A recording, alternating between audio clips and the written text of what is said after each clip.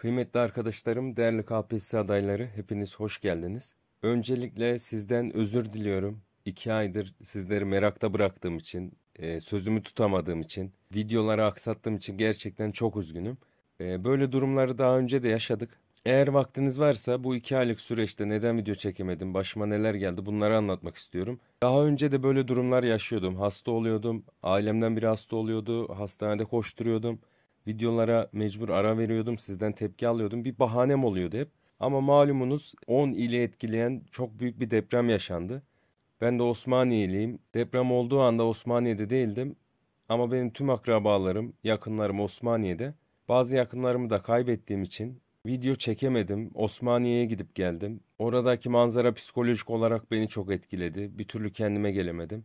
Deprem olduktan birkaç hafta sonra Instagram'dan duyuru yapayım. O bölgede öğrencim varsa görüşeyim. Sizlere hala hayatta olduğumu söylemek istedim. Maalesef orada da Instagram hesabına giremedim. Yani kendi telefon numarama onay kodu geldi. O hattımda gidince Instagram'a bir türlü kendimi doğrulayamadım yani. Kendi hesabıma giriş yapamadım. Ve Instagram'a da giremeyince sizlere duyuru yapamadım. Video çekecek zaten hiç vaktim yoktu. Depremin üstünden iki ay geçti. Şu an sanki deprem olmamış gibi herkes yaşıyor, hareket ediyor ama inanın o bölgede psikolojik olarak, manevi olarak, maddi olarak her yönde etkilenen, daha depremin etkisini atlatamayan binlerce insanımız var. Ben size bir tane olay anlatmak istiyorum. Depremzede akrabalarımdan bizim eve misafir ettim. Daha küçük yaşlarda olan bir yakınımı balkonda su dolu bardağı seyrederken buldum. Onunla gittim ne yapıyorsun burada dedim. O da dedi ki abi dedi normalde lambaya bakıyorum uzun süre dedi. Lamba hareket ederse hemen deprem olduğunu anlıyorum kaçıyorum dedi. Ama lambaya çok uzun süre artık bakamıyorum dedi. Ee, bir bardağı suyla doldurmuş. Onu izliyor. Eğer hani suda hafif bir hareket olursa deprem olduğunu anlayacakmış, kaçacakmış evden. Yani depreme yakalanmamak için. Bu sadece bir örneği arkadaşlar. Bunun gibi yüzlerce örneği var. Ben o deprem anında yoktum. Ama benim e, deprem anından sonra gördüklerim bile yani ben bile çok sağlam duramadım. Deprem anında orada olan vatandaşlarımız zaten psikolojik olarak çok etkilendi. Hala da etkisinde geçemeyen binlerce vatandaşımız var. Tüm vefat eden vatandaşlarımıza Allah'tan rahmet diliyorum. Mekanları cennet olsun. Kıymetli arkadaşlarım tüm bunları anlatmamın sebebi e, iki ayım böyle geçti. Ve arkadaşlar iki aydır inanın kendi evimde bir boş bir zaman bulabildim. Yani laptopu açabildim iki ay sonra. Karşınıza gelebildim. Laptopu da açtım ki yorumları gördüm. Benim cenazem kalkmış YouTube'dan. Tüm videolarda bastıra bastıra övünerek söylüyordum Osmaniyeli olduğumu. Birçok öğrencim de e, haber alamayınca vefat ettiğimi düşünmüş. Yorumlarda da baktım bir değişik hissettim, kötü hissettim. Hem sizleri böyle üzdüğüm için hem sizleri merakta bıraktığım için gerçekten çok özür diliyorum. Ama bu videoyu da e, bu özrün sebebini anlatmak için çekiyorum zaten.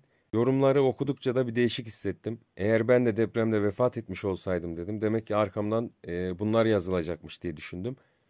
Ve tek tek okudum detaylı şekilde. Allah razı olsun herkes dua etmiş. Herkes arkamdan güzel şeyler söylemiş. Değişik bir histi. Yani gerçekten yaşarken öldüğümü görmüş gibi şey oldum. Farklı bir şeydi. Lafı fazla uzatmak istemiyorum arkadaşlar. Vaktinizi de almayayım. Bu sene çok güzel atamalar olacak. Orada haberini gördüm. Çok sevindim sizler adına.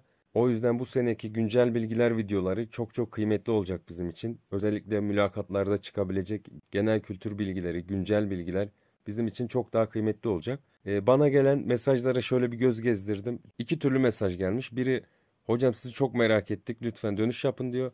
Diğerleri de diyor ki hocam kitabı ne yapacağız diyor. Güncel bilgileri ne yapacağım diyor. Sınav yaklaşıyor diyor. Ben ilk videoda da belirtmiştim. Ee, gene tekrar hatırlatayım. Güncel bilgiler kitabını ben şimdi yazarım.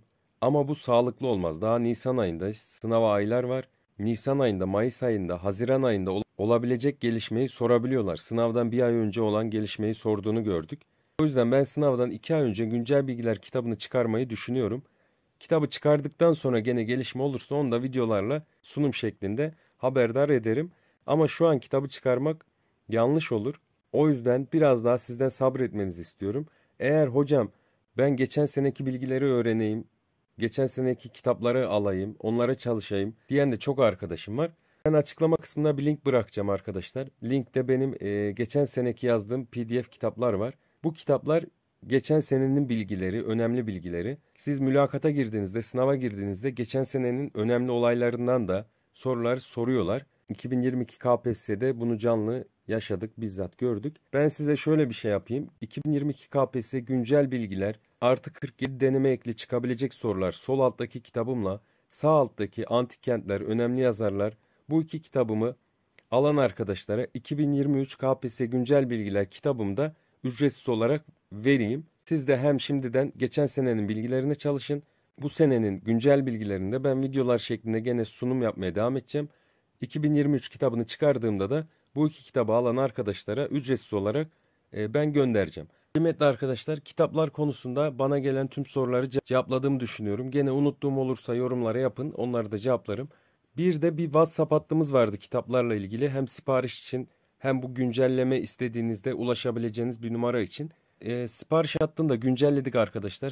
0541 136 81 90 numarasından bizlere WhatsApp üzerinden ulaşabilirsiniz. Sorularınızı buradan yazabilirsiniz arkadaşlar. Videoyu kapatmadan önce sizlerden bir isteğim olacak. Hayat boyunca yaşıyoruz, çabalıyoruz, bir şeylerin peşinden gidiyoruz. Memur olmak için çabalıyoruz. Memur oluyoruz. Sonra bir ev için çabalıyoruz, araba için çabalıyoruz. Ama her zaman ölümü unutuyoruz arkadaşlar. Ölüm bize gerçekten çok yakın. Sizlerden tek isteğim arada bir şunu düşünün. Eğer yarın ölecek olsaydım bugün ne yapardım? Özellikle ben deprem bölgesini gördükten sonra şunu düşündüm.